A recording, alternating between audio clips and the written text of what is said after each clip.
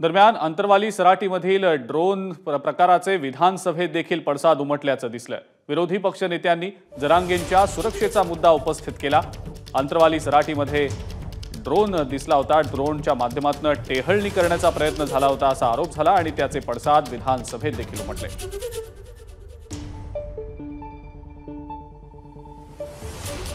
मला वाटतं की या मनोज जरांगे पाटलांचं जे गाव आहे अंतरवाली सराटी हे गाव जे प्रसिद्ध आहे हे एक आंदोलनाचं मुख्य केंद्र आहे.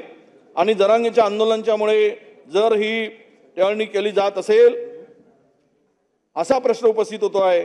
जर असा मला वाटतं की यामुळे संपूर्ण गावकरी अध्यक्षपदे आता भयभीत झाले आणि या सगळ्या प्रकरणाकडे गांभीर्यानं घेण्याची गरज आहे. आवश्यकता पडली तर जरांगे पाटलांना पूर्णतः संरक्षण द्या. परंतु त्यांच्या संरक्षणाची हमी सरकारने घेतली पाहिजे. हा कोण करताय याचं नावही या ठिकाणी आलं पाहिजेत. कोणी करताय काय करताय कशामुळे करताय उद्देश काय आहे ही सर्व माहिती आम्हाला निवेदनातून प्राप्त झाली पाहिजे किंवा मंत्र्यांनी या ठिकाणी दिली पाहिजे अशी माझी मागणी अध्यक्ष महोदय. स्थानिक पोलीस प्रशासनाकडनं या ठिकाणी प्राप्त करून घेतला जाईल.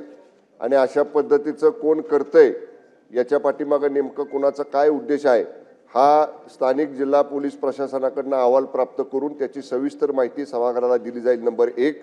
आणि सन्माननीय श्री मनोज जरांगे पाटील जे मराठा आंदोलना आरक्षणाच्यासाठी आंदोलन करतायत त्यांना चोवीस तास हत्यारी संरक्षण पोलिसांचं या अगोदरच दिलेलं आहे. तथापि सन्मान्य विरोधी पक्षनेत्यांनी जी भावना या ठिकाणी व्यक्त केली त्याप्रमाणे अधीक्षक पोलीस अधीक्षक जालना यांच्याशी चर्चा करून जर त्या ठिकाणी अधिकचं संरक्षण देण्याची आवश्यकता असेल तर पोलिसांचा अहवाल जो काही या ठिकाणी प्राप्त होईल त्यानुसार उचित कार्यवाही केली जाईल. एबीपी माझा उघडा डोळे बघा नीट.